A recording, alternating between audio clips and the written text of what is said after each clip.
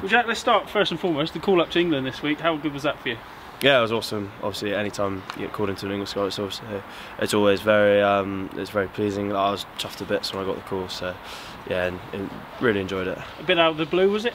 Uh, it was, yeah, it was very much so.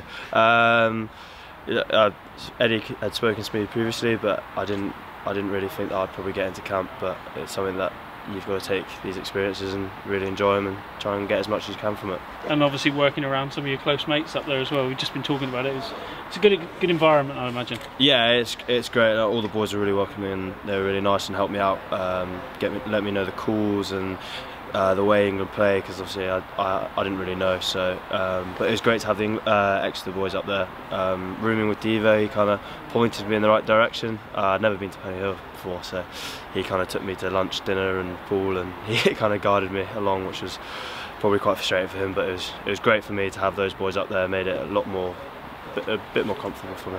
And obviously, I'd imagine you'd take that confidence into a game like this weekend. Bath, huge. Yeah, obviously local rivals. These these games are huge. Um, it's always a great fixture here. Uh, we've had some, you know, we've had some big battles here in the past. They've, I remember them pipping us a few years ago. I think uh, in one of the games here. So the crowd are always up for it. You know, we're always up for it. It's the kind of the end of a block as well for us. So it's something that we can really fly into and attack. Obviously, three out of four wins would be fantastic and put you very much top of the table going into that break.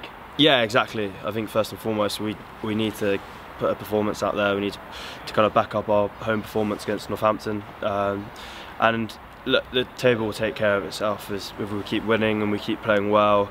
Um, sort of that top spot will come for us, but it's we just gotta you know keep working hard in training, keep keep playing well, and that'll take care of itself. Frustration was probably the abiding emotion after last weekend, wasn't it? You were in such a great position and didn't quite happen in the end. Yeah, obviously, yeah, we were in a great position, but I think we kind of it was kind of that middle part of the pitch. We we kind of let our ill discipline get get to, onto us and that kind of let Harlequins have a bit of a foothold for that last sort of 10-15 minutes which is very frustrating but I, I, you know there was a lot of positives. It was a, it was a tough day to play rugby um, but we saw some good tries.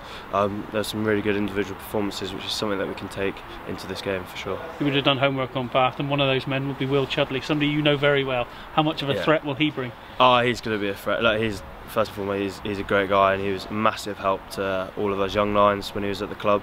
Um, so it's always great to see him and he's doing so well at Bath, which is great to see. But you know, he's a really smart operator. He's, his communication and his organisation is second to none um, and he'll put Bath in the right areas and put us under pressure, which is what you expect opposition nines to do.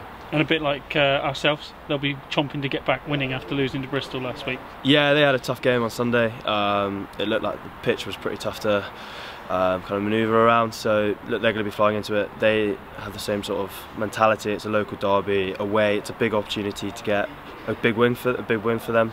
Um, so I'm sure they'll come flying into us.